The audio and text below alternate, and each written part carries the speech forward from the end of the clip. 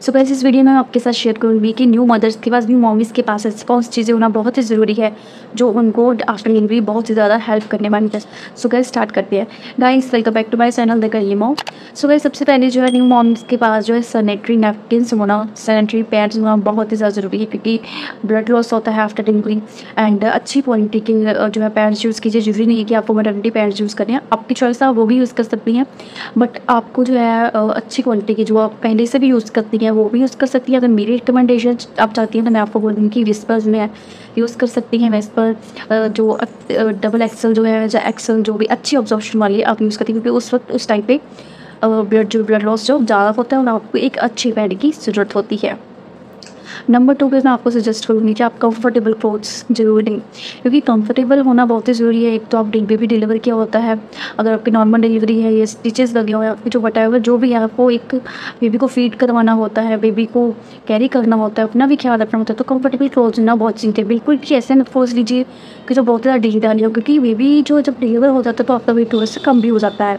सो tight भी मत लीजिए कि आपको बहुत ही ज़्यादा अनकम्फर्टेबल फील हो। तो comfortable clothes T shirt pyjama suits what आप जो भी पहनती हूँ आप कंफर्टेबल तो उसमें आपके पास बिल्कुल ज़रूरी है नंबर तीन पे मैं आपको सजेस्ट करूँगी कि आपको बेस्ट पम्प्स की ज़रूरत होगी।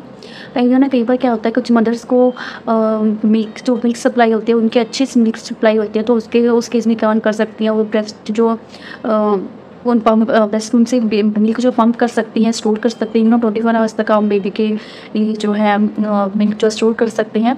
इनकेस अगर आपको मिल्क नहीं भी आ रहा है तो भी क्या है कि इससे गुड वे कि आप थोड़ा सा थोड़ा ब्रेस्ट पम्प करें तो हो सकता है आपको मिल्क जो है आए और आप वो स्टोर किया हुआ मिल्क जो बेबी को दे सकती हैं। इसके अलावा कई बार कई लेडीज़ को क्या होता है कि जो मिल्क की सप्लाई बहुत ही ज़्यादा होती है which is very good thing so क्या होता है कि उनको थोड़ा उस मोमेंट हो जाता है उनके साथ, उनके ब्रेस्ट के आसपास जो है पानी सा सॉरी दूध सा लग जाता है, जिसकी वजह से उनके जो ब्रेस्ट सब गीली हो जाती है।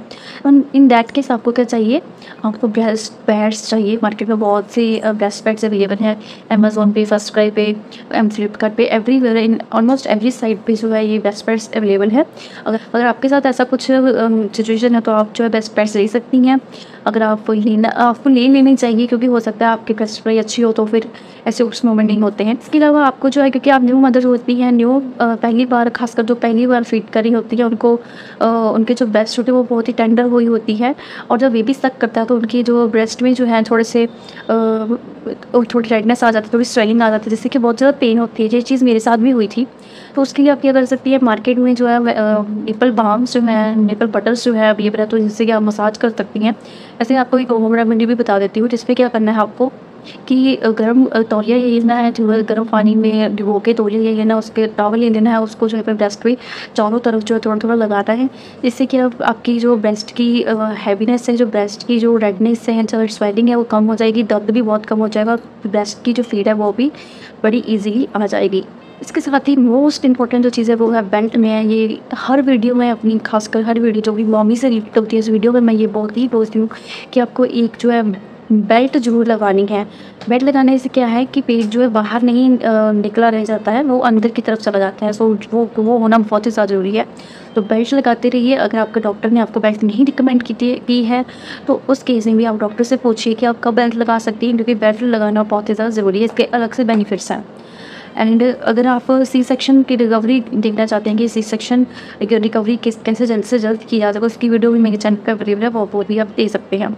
इसके अलावा आपको फीडिंग पीरियड्स की ज़रूरत हो सकती है, क्योंकि बेबी को फ़ीड कराने क्या होता है, कई बार कि जो पीठ जो है, कमर जो है, क्योंकि हमारे कमर में जो है दर्द होने लग जाता है, काफ़ी लंबे पीरियड्स तक पीरियड्स तक जो है बेबी फ़ीड करते हैं।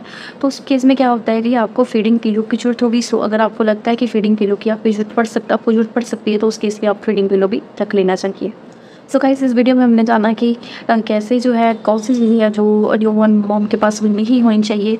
इसके अलावा आपको अगर न्यू बॉर्न एसेंशियल्स देखनी है, कौन सी चीज़ें जो न्यू बॉर्न को बहुत ही ज़्यादा ज़रूरी होती हैं, ये जब जाना चाहती हैं तो आपको जो मेरे चैनल में जो उसकी वीडियो भी मिल जाएगी। सो उस वीडियो को देखिए एंड इन्जॉय कीजिए।